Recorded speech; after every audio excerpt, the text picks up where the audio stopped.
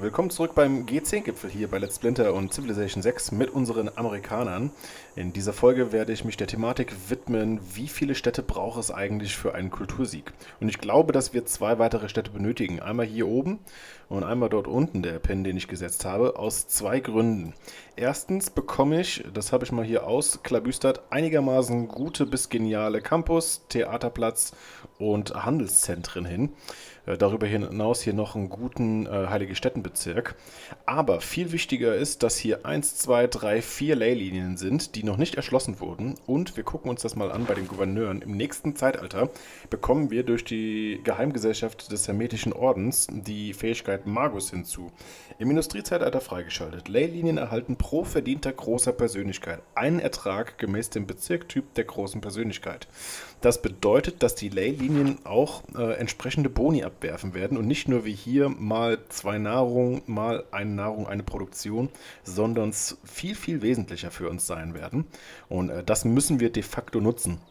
Und das werden wir hier auch entsprechend durch die beiden zu gründenden Städte, weshalb ich den Nationalismus hier nochmal ein bisschen hinten anstelle und in der nächsten Runde durch die Reformkirche mir schon wieder einen Wechsel bei der Regierung äh, erlauben möchte, um die Politik zu ändern und dann die Siedlerkarte 50% äh, schnellere Produktion ausspielen zu können.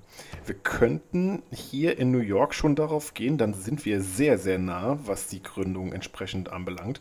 Insofern gehe ich hier auf den Siedler und dann in der nächsten Runde in Washington werden wir ebenfalls einen Siedler ähm, produzieren. Und der ist dann in 13 Runden da. Und das geht dann natürlich noch ein bisschen schneller durch die Karte. Der Ritter hier versucht dieses Lager weiterhin auszunehmen. Und wir gucken uns das Ganze hier mal an. Und verschanzen uns an der Stelle. Und hoffen auf, ich sag mal salopp, besseres Wetter. Der Handwerker hier... Wow, was sehe ich da? Hier ist ein Siedler von England. Ah, das ist nicht gut. Wir stehen hier mit unserem Bogenschützen, aber er kann natürlich... Wo will er denn hin? Oh, er könnte auf diesen beiden Feldern siedeln. Hier kommt er nicht hin. Ah, er kommt aber hier zum Quecksilber. Und von da aus könnte er da hoch. Dann würde ich hier blockieren. Und wenn er da steht, kann er zurück auf dieses Feld und dort in der gleichen Runde siedeln. Oha. Wir gehen mit dem Handwerker mal in die Richtung und blockieren eventuell die Route. Ich hoffe, dass die Nummer aufgeht. Ähm, das darf auf keinen Fall passieren. Das werden wir uns auch noch genauer angucken. Und werden nun hier unten ein Sägewerk errichten in dem Wald.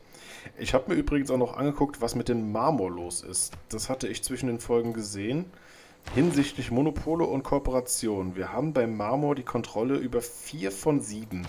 Wenn wir uns das mal anschauen. Die Marmorvorkommen sind hier zwei Stück. Hier haben wir schon entsprechend angeschlossen. Dann haben wir hier unten eines. Das ist südöstlich von Baltimore und muss noch dazugeholt werden. Das hier haben wir in Washington. Dann gäbe es potenziell hier noch eines. Da müssten wir noch eine Stadt für gründen, westlich von St. Louis. Und hier oben, nördlich von Cincinnati, auch noch. Und das vom Stadtstaat haben wir auch schon entsprechend, weil wir dort so zu rennen sind. Das heißt, wir könnten das absolute Monopol auf Marmor halten. Und das ist so ein mittelfristiges Ziel, was ich hier noch irgendwie eingehen werde. Das Problem ist, dass wir das hier nicht erreichen. Da müssen wir tatsächlich eine Stadt für gründen. Können wir natürlich aber machen und da müssen wir es nicht anschließen, wenn wir auf diesem Feld gründen. Ähm, das sollten wir auch noch beachten und insofern da dann entsprechend auch die ähm, Augen drauf legen in naher Zukunft. Wir haben einen Handwerker mit fünf Aktionen. Und der könnte tatsächlich hier das Kupfer noch anschließen. Guck mal gerade, ob es... Ah nein, es liegt sowieso... Ja, momentan liegt es mal noch außerhalb der Reichweite von Washington. Und dann ist die Frage, was wir hier mit ihm eigentlich machen in dem Moment.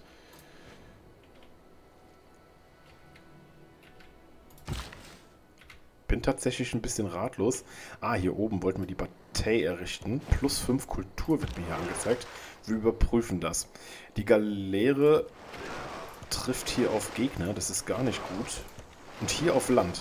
Das wiederum ist interessant. Wir werden dort weiter erkunden im Süden und vor den barbarischen Schiffen flüchten, zumal Boston ansonsten Probleme bekommen könnte. Ähm, und gehen dann in die nächste Runde.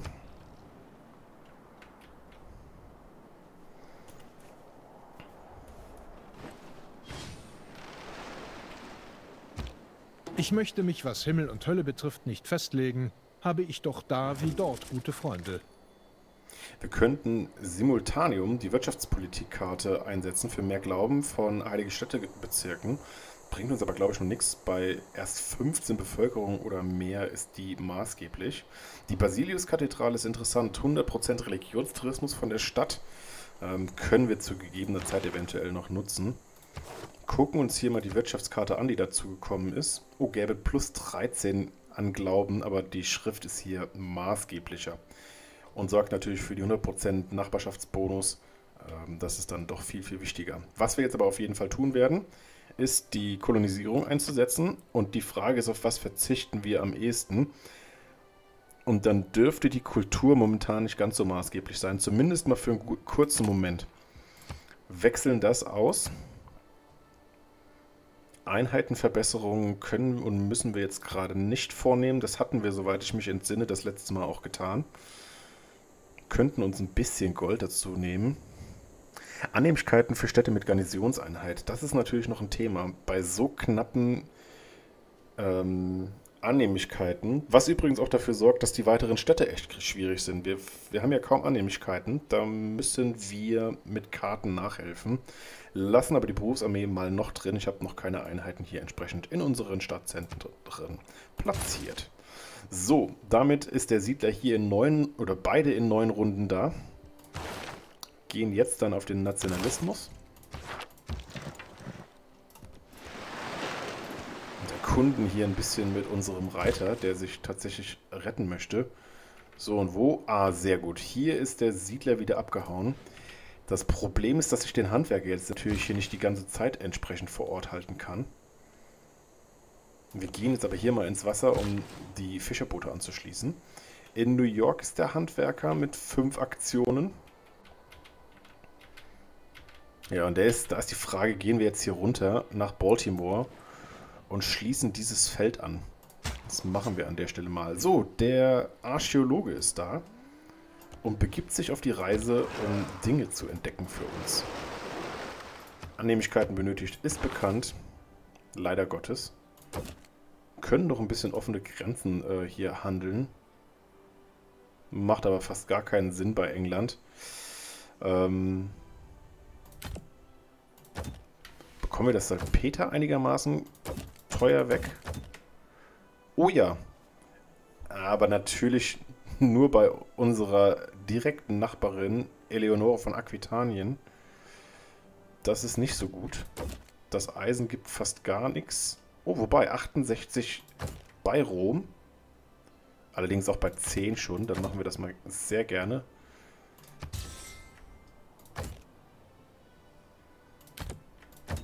Pferde selbst bekommen wir nicht weg, insofern ist das hier in Ordnung vom Handel. So, wir vermeiden natürlich weitere Zeitalterpunkte, das hatten wir gesagt. Noch sechs Runden bis zum Zeitalterwechsel. Hier ist der Handwerker schon angekommen. Da bin ich jetzt gleich sehr gespannt. So, es gibt tatsächlich plus 5 Kultur. Dann nehmen wir hier den Pin mal raus und schauen uns das an. Wow. Natürlich jetzt ein sensationelles Feld hier. In einer Runde ist der Leuchtturm in St. Louis fertig. Gibt dann plus zwei Wohnraum, das ist wirklich gut. Äh, wir sind hier maxed out, wie es so schön heißt. Wir erkunden hier weiter. Die Frage ist, können wir wieder ein bisschen... Ah ne, wir können nur Eisen handeln mit den Personen, mit denen wir es nicht wollen. Könnten noch ein bisschen Salpeter an Menelik raushauen. Aber mehr wie 30 will er nicht und dann gäbe es wieder nur die Option, mit Eleonore von Aquitanien zu handeln. Gucken uns das nochmal bei 20 an. Da gibt er uns 6 Gold für 30 Runden. Das machen wir auf jeden Fall. So, und dann hier das Sägewerk, das hatten wir gesagt, in Charleston. Könnten auch die Produktion ernten und hätten die Werkstatt dann fertig. Na, da ich hier aber nichts... Ne, hier will ich dauerhaft die Produktion haben, das geht noch. Sonst ist da nämlich nichts mehr weiter geplant. Kunden hier an der Küste entlang. Übrigens eine Rieseneinheit hier von Äthiopien, ein Krieger unterwegs auf dem Wasser.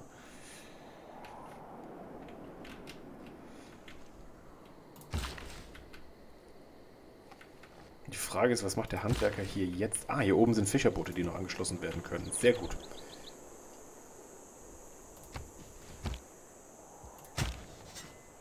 Damit hätten wir nun das erste Artefakt, was ausgegraben werden kann. Dafür bekommen wir das Heureka für den Verbrennungsmotor. Gucken wir uns gerade mal an, bevor ich es vergesse. Der Verbrennungsmotor versteckt sich erfolgreich. Ah nein, hier unten ist er. Die Golden Gate Bridge wird potenziell ähm, geboostet. Und die Fortbewegung für die gewasserten Einheiten. So, was haben wir? Entweder von uns selbst ein Artefakt aus dem Industriezeitalter oder von den Barbaren. Wir nehmen es mal von uns selbst und finden eine Steinschlosspistole, die drei Kultur und drei Tourismus liefert. Was wir bedenken sollten, ist die Tatsache, dass hier hinten einige Artefakte im Weg sind für das, was wir hier planen. Das heißt, ich gehe jetzt auch hier rüber. In gut 5, 6 Runden wird er dann da sein, dauert also ein bisschen. Aber da müssen wir hier aufräumen. Wir haben hier unten was zu modernisieren. Hier ist ein Feld, hier soll der Unterhaltungsbezirk hin. Ähm, hier habe ich übrigens noch eine Stadt eingezeichnet. Hätten wir noch ein Kultur- bzw. ein Theaterplatzbezirk in der Möglichkeit direkt neben dem Unterhaltungsbezirk. Der Hafen, den haben wir schon mal eingezeichnet, ist sehr gut geeignet bei plus 5 Nachbarschaftsbonus an Gold. Und hier ist ein Riff versteckt, das heißt, neben diesem Campus würde hier noch ein weiterer Platz finden.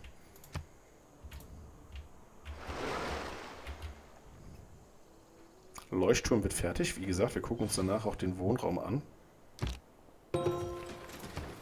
Und sehen jetzt hier bei 10 von 13 sogar. Das ist außerordentlich gut. Was die Nahrung anbelangt, sind wir hier bei plus 16. Das heißt, wir brauchen nicht zwingend die Gurdwara für die Nahrung, aber es gibt nochmal Wohnraum, Bürgerplatz und viel Glauben. Schiffswerft wäre natürlich auch angenehm. Der Hafen hat hier plus 3 Nachbarschaftsgold. Mm, und der Produktionsbonus in Höhe des Nachbarschaftsbonus des Hafenbezirkes kommt durch die Schiffswerft. Das heißt, wir kämen hier nochmal ein bisschen höher, was die Produktion anbelangt. Das heißt, das ist durchaus spannend. Wir können noch einen Bezirk setzen, wie ich gerade sehe. Der zehnte Bürger ist da. Aber ich denke, wir gehen hier erst auf die Kultur. Und dann potenziell aufs Archäologische Museum. Wir müssten mal gucken, wie viel Platz in denen jeweils ist. Ja, und da es nur drei Stück sind und wir nur dieses... Ah nein, wir haben noch ein weiteres. Okay, dann ist genug Platz und dann gehen wir aufs Kunstmuseum. Große Persönlichkeit ist da. Das ist natürlich, wie eben schon angedeutet, wirklich wichtig für uns. Den großen Musiker holen wir uns. Zeitalterpunkt hinzu. Und es gibt ein Luxusgut, das wir uns erhandeln können. Das machen wir mal direkt mit ihr. Für 30 Runden und wir müssen nur 7 Gold zahlen. Ja, dann bitteschön. Endlich mal jemand, der mit Luxusgütern handelt. Die Gewürze sollten wir hoffentlich auch noch nicht gehabt haben. Wir schauen uns das hier mal an. Ja, wir holen ihn nur durch die diplomatischen Vereinbarungen. Und das sorgt in unseren Städten zumindest ein wenig öfter schon mal für Zufriedenheit und keine Einbußen, was die Erträge und weiteres anbelangt. Handelswegkapazität wurde erhöht. Stadt benötigt Nahrung. Das ist ein wahrhaftiges Problem in Charleston. Stadt wächst also gerade nicht. Frage ist, ob wir hier auf die Nahrung gehen können. Dann wächst die in 26 Runden. Das ist auch noch ziemlich viel. Ändert aber nichts an der Produktion und damit bin ich dann einverstanden. Und wir werden hier das Dreieck aufmachen. Das heißt, da muss die Altertumsstätte und das Artefakt ausgegraben werden, damit wir hier ein äh, Bauernhofdreieck errichten können. Vulkan hier im Süden wird aktiv, das betrifft uns nicht direkt. Der Händler in Detroit ist abgeschlossen. Ja, es ist tatsächlich die Frage, will ich von Detroit was machen oder mal von Boston? Die Stadt, boah. Also es tut tatsächlich weh. Das ist, da ist gar nichts. Detroit selbst könnte allerdings auch, wir gucken uns das mal an, an Nahrung noch hinzugewinnen.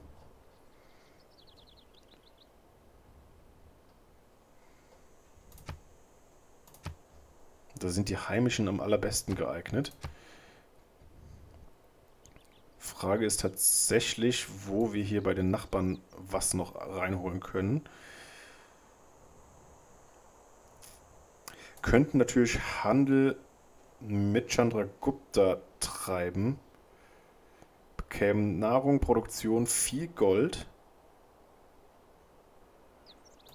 Die Frage ist, ob es das wert ist.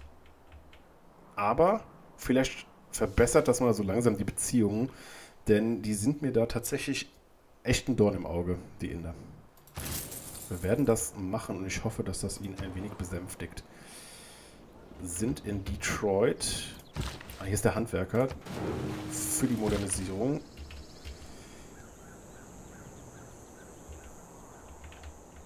Dann können wir hier einen Bauernhof errichten als nächstes. Ja, und dann stellt sich tatsächlich die Frage, worauf gehen wir als nächstes? Bibliothek, Leuchtturm, ansonsten macht hier wenig Sinn. Könnten die Hilfeleistung machen. Da sieht es übrigens nach wie vor relativ gut aus. Wir haben nämlich keinen Krieg mit Chandragupta. Gott sei Dank. Ich hoffe, er klärt auch keinen uns gegenüber. Und wir haben genug Gold und können die Bibliothek hier kaufen und gehen dann hier war der Nachbarschaftsbonus bei plus 2. Das heißt, die alchemistische Gesellschaft kann noch ein bisschen warten. Wir nehmen eher den Leuchtturm hinzu. Der Handwerker hier kann das Salpeter anschließen. Das hatte ich hier markiert. Der Musiker... Boah, hat der Musiker schon Platz? Oder muss er warten? Man muss tatsächlich warten. Wir stellen ihn also hier auf und lassen ihn ausruhen.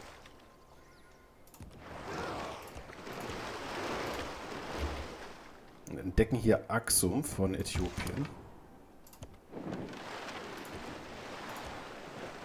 Und entdecken hier einen barbarischen Speer, den wir ausnehmen könnten. Da müssen wir aber aufpassen, wie wir da an Land kommen und müssten uns eventuell auch noch ein bisschen genauer umsehen.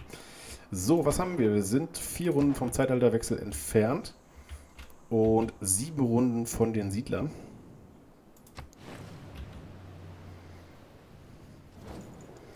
Einzigartige Kultur, die euer Volk entwickelt, ist sehr beachtlich. Ich danke Trajan hier von Rom für dieses Kompliment.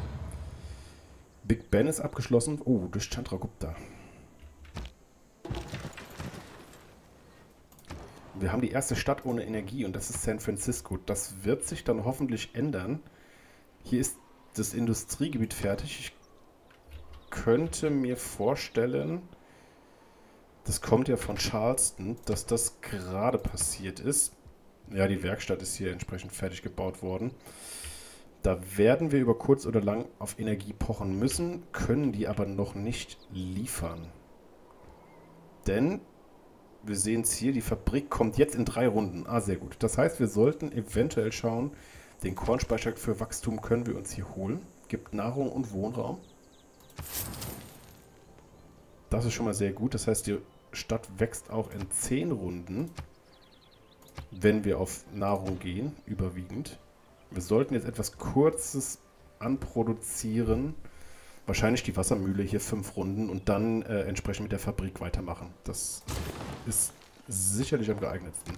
In Washington sind Wohnraumprobleme vorhanden. Na, Prostmahlzeit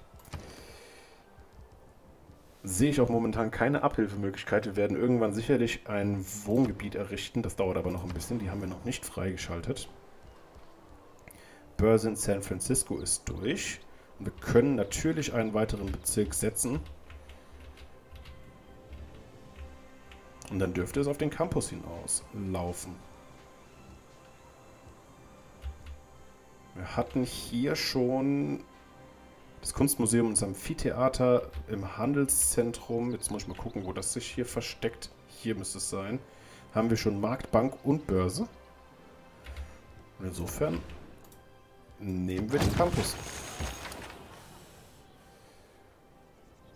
Ja, hier, wie gesagt, erstmal ein wenig mehr auf dem Kontinent um, den wir hier entdecken.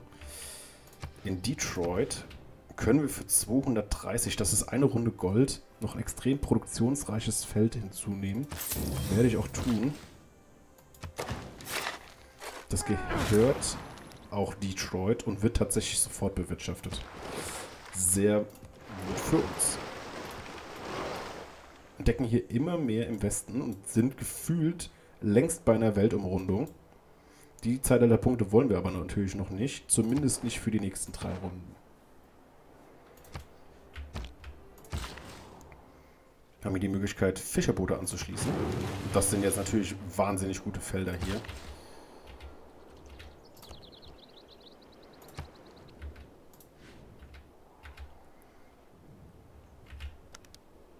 Oh, wir verlieren den Suzeränstatus in Maskat.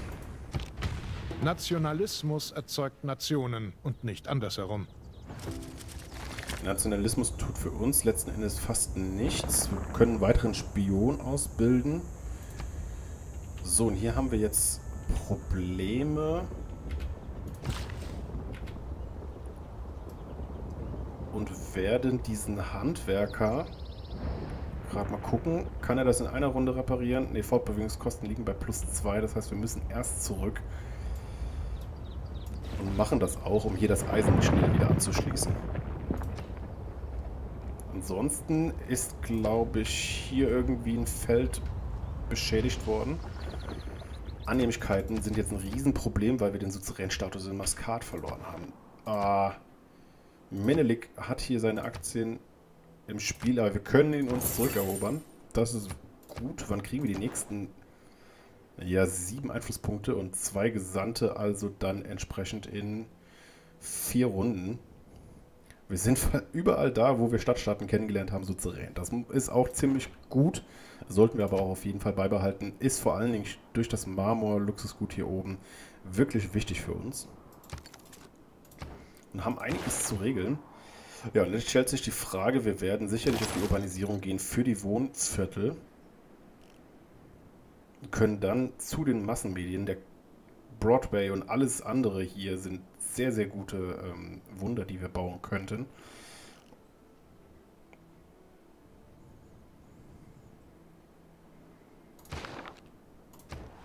Und produzieren Los Angeles als nächstes Ah, hier hatten wir gesagt, ja, wir wollten jetzt auf den, das Gebäude des Regierungsplatzes.